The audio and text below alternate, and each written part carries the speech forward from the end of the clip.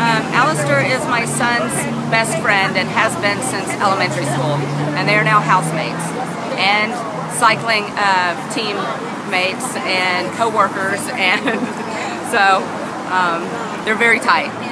Um, his mood is understandably up and down, um, but he's in good spirits. He's being funny.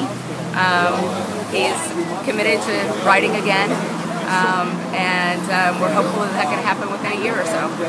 The intersections in this city are dangerous. This is an especially dangerous one. There are no turn signals.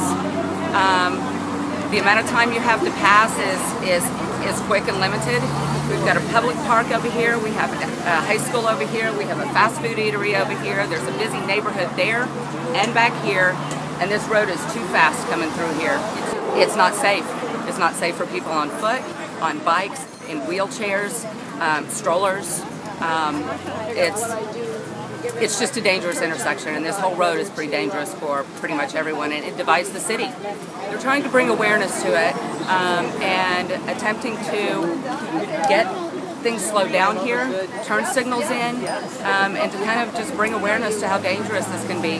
Um, and that a large part of our supposedly bike-friendly community isn't safe for bikes.